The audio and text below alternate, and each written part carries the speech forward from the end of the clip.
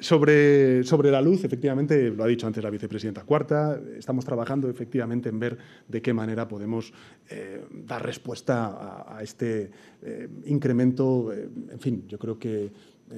exorbitante del precio de la luz y que efectivamente necesita una respuesta por parte del Gobierno de España. Estamos trabajando en ello y, por tanto, no quiero adelantar tampoco los siguientes pasos, pero, pero esa empatía, esa, esa sensibilidad la tenemos con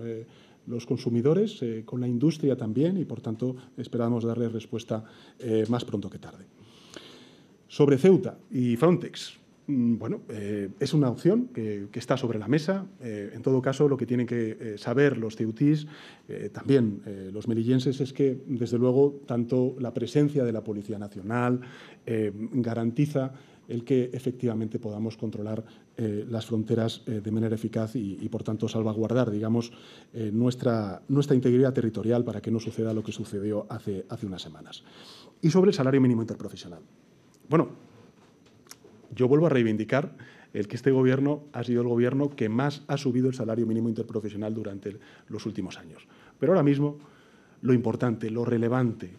es la creación de empleo, la consolidación del crecimiento económico. Por tanto, vamos a hablar con los agentes sociales,